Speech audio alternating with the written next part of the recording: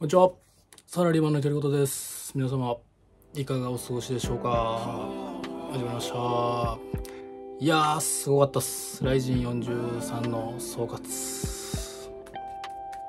と、えー勝敗予想の結果について動画を撮っていこうと思います。はい。で、えーいや、素晴らしい大会でしたね。本当に、ライジン43、北海道大会。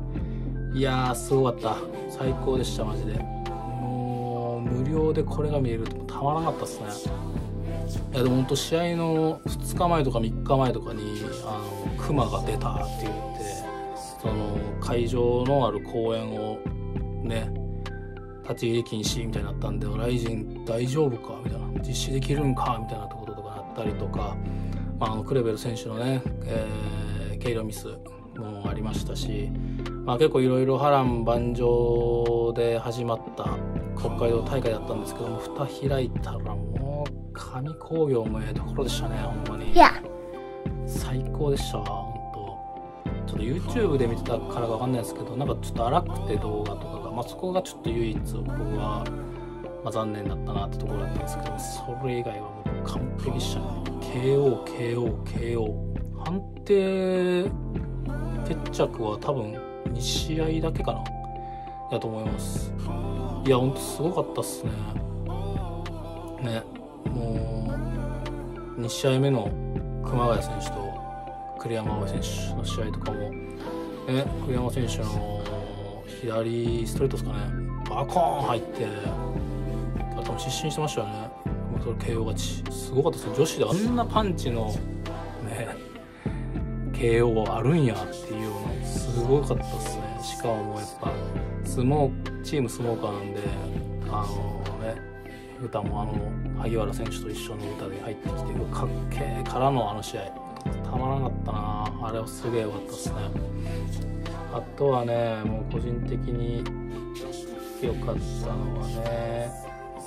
木村フィリップ・ミノル選手 VS ロック下り。KO がもうえげつなかったっすねほんと。なんかバコーン入って殺されたみたいなロック下りが。すごかったなあれは。あんな KO も見たことない。でも一回なんかあったっすよね木村選手も。そういう K1 の時に。すごいなんか KO 本当に崩れ落ちるガーって失神とかもあったんで。すごかったなあの KO 興奮興奮興奮の公共でしたね。はい。でですよ。まあ自分はこのライジン43はえっと計4試合ですかね。予想させていただきまして。まあね戦績で言うと2勝2敗。きやりましたね。2, 2個取れたのはちょっと大きいですね。でまああのー予想動画上では、まあ、分数とか何ラウンド何分何秒で勝つって言ったりとかはしてるんですけど、まあ、そこはちょっとねさすがにそこまでは当てるのはもう僕神様じゃないんで無理。だから、まあ、とりあえずその結果例えば、え1本で勝ったっていう結果がどこまで当たってたかっていうところを、まあ、基準に、えー正解だったのか外れだったのかっていうところをまあチェックできればと思います。で、えー試合順からまあ話していこうと思うんですけどトップバッターが、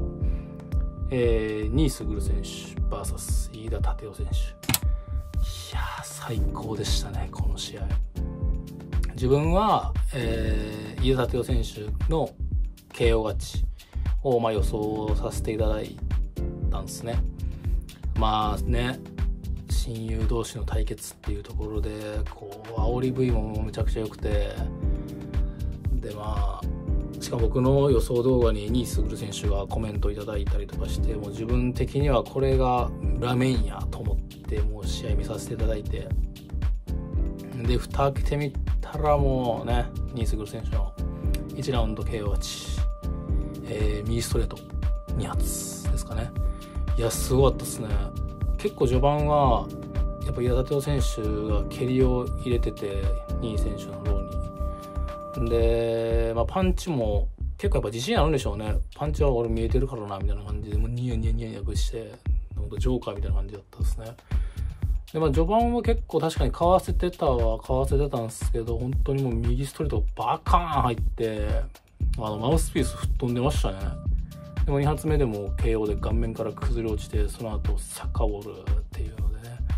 まあ親友の顔面サッカーボールキックするんやって思いましたけどまあでもそんだけねもうバキバキに気合入りまくってたってことやしね。まあ、しかもなんか俺が引退させてやるよみたいなコメントも出てたんでなんか思いっきりやったんだろうなっていうこう、ね、熱量を感じるいい試合でしたね。いやあれは良かったなあまあ本当に2位選手申し訳ございませんでした。もう素晴らしかったですね。いい素晴らしい勝利おめでとうございます。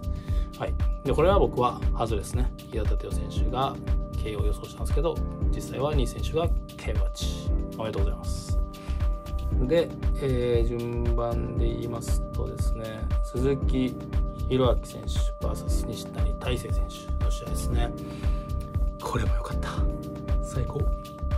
えー、これは僕は西谷選手が、えー、寝かせて判定勝ち。になるんじゃないかっていうのを予想したんですけど、まあ、序盤はタックル行って本当グラウンド展開に持ってったんですけどなんかあれですよね立ち上がってえー、西谷選手が飛び膝打ったところに左フックですかね合わせて KO 勝ちいやーあれは完璧だったな。よく合わせましたね。もう動物の本能ですねあれは。もう飛んできたところにバコーンって。うーんまあでもなんか本人西谷選手は、えー、色気が出てしまったと、まあ、自分がまだあそこでそういう技を出す場面じゃなかったみたいなことを言ってて。まあ、でもその師匠のミクル選手は全然、まあ、あの膝はいい選択やったよっていうのを言ってて、まあ、自分が攻撃出す時に相手の攻撃を見るようにしないといけないねみたいなことは言ってはって。うーんなんかいい関係だなっていうのは思いましたね。いやーくそーと思ったっすねこれは。うんまあね。まあでも確かにやっぱ打撃がすごいねできる怪物くんやったんでうーんまあ確かに安易にいったんかなとか僕は思いましたけどやっぱそこはスペシャリストの打撃スペシャリストの鈴木選手のパンチがもうもろに入ってうん厳しい。はいなんでこれが僕外しましたね。えー、実際は鈴木選手の KO 勝ち、えー、鈴木選手申し訳ございません。おめでとうございます。はい。でえー12試合目ですね。八千選手 VS ザック・ゼイン選手。これは、えー、僕は予想したのは八千選手のサブミッション。一本勝ちで勝つんちゃうかっていうところを、えー、予想させていただいてですね、えー、2分2ラウンド2分17秒で八千選手の一本勝ちを予想させていただいたんですけどこれはもう予想通り、えー、2ラウンドではなかったんですけど1ラウンド八選手のバックチョーク一本勝ち。イエーイ。やったこれはでも分かる。いやこれはねもうなんか言うまでもないというかもう見た通りの試合展開でしたね。なんかでももうちょっと早く勝てたんじゃないかなって思うところもあったんですけどまあでもこれはもう八津選手の圧勝でしたね。ちょっとレベルが違ったなと思いました。八津選手おめでとうございます。でメインですね。メインのクレベル小池 VS 鈴木千尋。でこれは、えっと、妻も予想させていただきまして妻が確か鈴木選手の判定勝ちかな。で僕は2ラウンドでクレベル選手が1本勝ちするって予想しましたね。まあその軽量ミスっていうのがあってですね、えー、ライジンのフェザー級のベルト剥奪で、えー、鈴木選手が勝った場合のみ、えー公式の結果になってですね、ライジンのベルトが鈴木選手に行く。で、クレベル選手が勝った場合は、ノーコンテスト。もうどっちも、えー、負けもつかないし、勝ちもつかないっていう、あのー、まあ、ルールのもと、えー、試合になったんですね。で、まあね、やっぱちょっとレベルが違いましたね。うん、厳しい試合でしたね。まあ、確かに打撃は結構ええ感じの入るかなと思ったんですけどただもろにクレベルを受けなくてですごいガチャついた打撃の中でタックルに行って結局そのまま組みつかれて、えー、サービションで、えー、クレーベル小池選手の勝ち1ラウンドでのになりましたね。うーんいややっぱそうっすね。ちょっと1ラウンドで自分がちょっと思ってたのは鈴木選手がガツガツいって打撃でやってまうんかなとか思ったりはしたんですけど結果まあそうはならずでしたね。うん。なんかやっぱりちょっとクレベル選手強えなってやっぱ結構思いましたねこの試合で。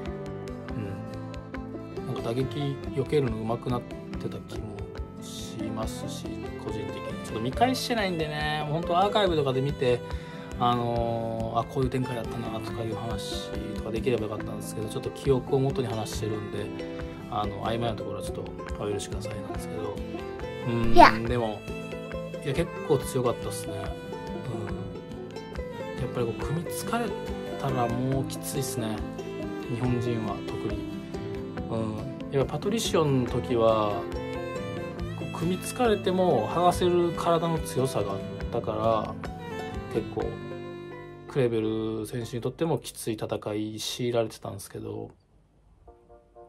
ぱ鈴木選手クラスだとやっぱり組みつかれると剥がせないっていうところがやっぱしんどいところなんやろうなっていうのはすごい見てて思いましたね。うーんなんでどうなん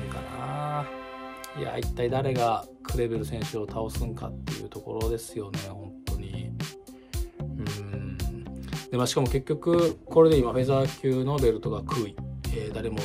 ベルトを持っていない状況になりましたね。で7月の30日スーパーライジン2でですね、えー、プガル・ケロフ VS 笹倉未来があの行われるんですけどまあそれの勝者がベルト本当は多分それの勝者が普通にクレベルが経営を成功しとって、えー、ケランフとミックル選手の勝者が、まあ、クレベルとタイトルマッチもう一丁みたいな感じやったと思うんですよ。でも今回その計量ミスっていうのがあったんでうんなんかいきなりねなんか榊原社長も言うてはったんですけどそうすぐに、えー、タイトルマッチさせるかっていうのはまた別の話やみたいなこと言ってたんで、まあ、もしかしたらクレベル選手は1試合僕挟むんかなって思いますね。金原選手ですかねそれは。なんか誰誰なんだろうなとすごい思うんですけど。でもそうんでもまあ直ででもやらす気もするんですよね。もうケラモフ選手とミクル選手の勝者ともいきなりクレベル選手でタイトルマッチとかもいきなりやったりするんかな。いやーどうなんですかね皆さんは。いかがでしょうか本当に。いやでも結構やっぱ勝敗予想をあのするとですねすごいこう試合にグッて入って見れるっていうかもうなんか興奮します本当に。あのうわ頼む当たってくれとかいうのもやっぱりねいますしね。なんかそういうのも込みですごいねあの楽しい僕は大会でした。ね本当多分無料とかで初めてライジン見られた方とかもいらっしゃると思うんですけど最高やったと思うんですよこの大会。しかもいつもの2時間負けですからね。もういつもやったらもう10時とかに終わる時もあるんで。だからこう結構体力的にもこう見てる側の体力的にもすごいねあの優しい大会でしたね。うん。いやーよかったなライジン43もう一回一から見たいんですけどね。YouTube でもぜひアーカイブ残してほしいなと思うんですけど。まあでもね結構そのスーパーライジン2のための、まあ、宣伝も兼ねてますし100万人登録してまあ、榊原社長の男気のサービスの大会でもあったんで、まあ、わがままはあまり言えないっていうところですね。はい。皆さんは、あれですかね、勝敗予想をされた方々は結構当たってましたかね。ぜひね、皆さんの感想とか、えー、お聞かせいただけると、僕もそういうトークしたいと思ってるので、ぜひ、格闘技の友達が欲しい。はい。まあ、なんで、ぜひね、あの、皆さんの勝敗予想、外れたのか外れてないかとか、えー、教えてもらえると嬉しいです。ではもうちょっともう先に先行して、えー、スーパーライジン2の勝敗予想とかも、えー、出させていただいてるんで、まあ、スーパーライジン2に関してはちょっとね、勝敗予想も結構多めにやろうかなと思ってます。なんでぜひそっちも見てね、えー、スーパーライジン2でも、あの、皆さんが楽しめるようなコンテンツができればっていうふうに考えてますんで是非ね、えー、皆さんも勝敗予想やってみて。で僕の勝敗予想とか照らし合わせていただいて本当はこうだよとか格闘技経験者から見たらこうだよとかそういう意見とかも超欲しいんで本当に。めっちゃ欲しいんで是非皆さん教えてほしいです。コメント欄にどしどし、えー、書いていただけないでしょうか。はい。ではまた次の動画でお会いしましょう。バイ。